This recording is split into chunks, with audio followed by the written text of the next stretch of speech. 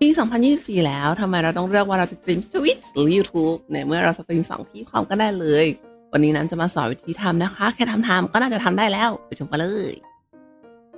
อธิบายก่อนนะคะว่าถ้าเราจะสตรีมสองที่เนี่ย เราจะต้องมีอะไรบ้างอันดับแรกเลยเราจะต้องมีเน็ตความเร็วสูง เพราะว่าเราต้องยิงสตรีมไปสองที่พร้อมกันนั่นเองนะคะ แล้วก็ข้อต่อไปก็จะเป็นสเปคคอมที่เราไม่รู้นะว่ามันต้องใช้ขนาดไหน แต่ว่าสำหรับเครื่องน้ำเอาของเครื่องน้ำเป็นมาตรฐานแล้วกันว่านั้น มีสเปคประมาณนี้ เป็น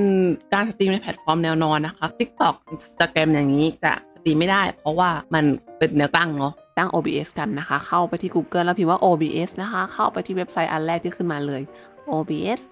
ใครใช้ Windows ก็โหลด Windows นะคะ กดโหลดไปเลยอันนี้คือหน้าตาที่น้ำใช้ปกติทุกวันนี้นะ อาจจะแตกต่างจากทุกคนเล็กน้อยนะคะ ต่อไปจะเป็นการติดตั้งปลั๊กอินนะคะ เข้าไปที่เว็บไซต์ด้านล่างนี้นะคะ ให้น้ำลงไว้ให้ข้างล่างเนาะ แล้วก็ไปที่ go to dashboard เลื่อนลงมานะคะ เลื่อนลงมาเรื่อย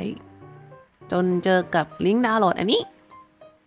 เลือกเป็น exe นะคะก็จะขึ้นเครื่องมันจะไม่ให้เราโหลดเนาะ แล้วก็กด keep แล้วก็จะได้ไฟล์ติดตั้งมานะคะ ดับเบิลคลิกลงไปเลยค่ะ มันเครื่องเราก็จะฟ้องว่าไม่ให้รันอีกนะคะ เรากดไฟล์ more info นะคะ แล้วกด run anyway ค่ะ แล้วก็พาร์ตตรงนี้ขึ้นอยู่กับที่เราติดตั้ง OBS ไว้นะถ้าเกิดว่าเราไม่ได้แก้ไขอะไรเราก็กดติดตั้งได้เลย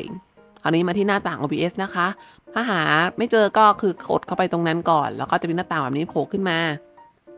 กด add new target นะคะคือน้ำทางไว้แล้วเนาะก็จะอยู่ด้านล่างอย่างนี้ ก็ของน้ำจะเป็น YouTube นะคะ อันนี้คือหน้าต่างที่ไว้ใส่ URL แล้วก็ key stream นะคะ ของน้ำเป็น YouTube นะ แล้วก็อันนี้คือ key stream ของน้ำแล้วก็ใส่เรียบร้อย setting ต่างๆนะคะเอาน้ำใช้แบบนี้ encoder จะเป็นแบบเหมือนของตัวสตรีม Twitch ปกติ ตัว bitrate แล้วก็ตั้งให้เท่ากันนะคะส่วนใครอยากรู้ว่า setting ของน้ำเป็นยังไงก็เดี๋ยวน้ำมีคลิปแยกให้ต่างหากนะคะ อย่าลืมกด sync start with OBS นะคะ เราจะไม่ต้องกดแยกเวลาเริ่มสตรีมเนาะแค่นี้อะค่ะเรียบร้อยแล้ว เวลาเริ่มสตรีมแล้วก็กด start สตรีมส่วนนี้ก็ จะขึ้นสตรีมทั้งสองที่เลยนะคะ อันนี้เป็นตอนที่น้ำจะเริ่มสตรีมนะคะ น้ำกด start สตรีมแค่นี้แล้วก็จะ sync ทั้งสองอันเลยนะคะ เดี๋ยวรอสักครู่นะคะ มันจะเริ่มขึ้นแล้ว อันนี้เป็นหน้าต่าง Twitch แล้วก็ YouTube ที่น้ำเปิดรอไว้นะคะ อืมมาแล้ว Twitch มาแล้วนี่ขึ้นแล้วครับ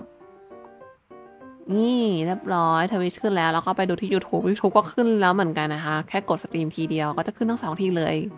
โอเคค่ะ ถ้าใครติดตรงหาตรงไหน อย่าลืมคอมเมนต์สอบถามด้านล่างนะคะ ส่วนใครที่ชอบคลิปนี้ อย่าลืมกดไลค์ กด